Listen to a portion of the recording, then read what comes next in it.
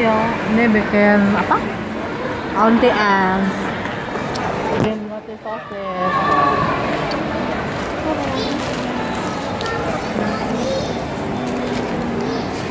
Dan dipanggang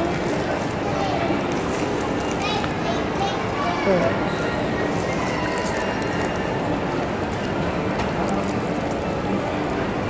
Tunggu beberapa menit.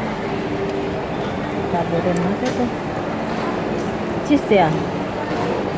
Keju. Keju parut. keju apa? Parut ya? And selesai di oven. Oke ditunggu sampai selesai. Tuh ada rumput lautnya ada kejunya.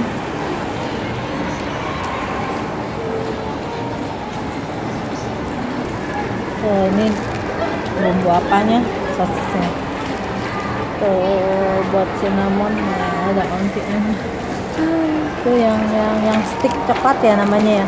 Iya. stick coklat. Tuh